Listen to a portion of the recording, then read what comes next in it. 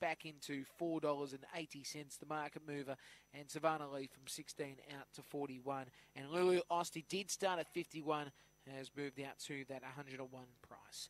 Green light, lure driven, set to go for the lucky last. The Metalworks non-penalty stake over to 305. Set racing. Started well, Filthy Phantom, though showing very good speed was Run Fast Onesie, and Run Fast Onesie leads from Senor Senor. Then came Savannah Lee, Lulu Osti, and Filthy Phantom around the turn. Run Fast Onesie, the leader. Senor Senor tries, but Run Fast Onesie wins. Second will go to Senor Senor.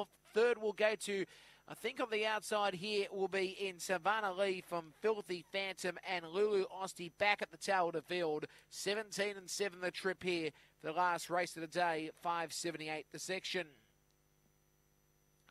Run fast, onesie does it and does it well.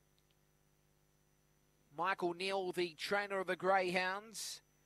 A black dog from Kiwa Monmani Cara Bale. Second spot goes to Senor Senor. Nicole Stanley, trainer. A black dog from El Gran Senor out of Photon Gilles. And third spot, Savannah Lee, trained by Mary Blake. It is a black girl, Barsha Bale. Come on, see.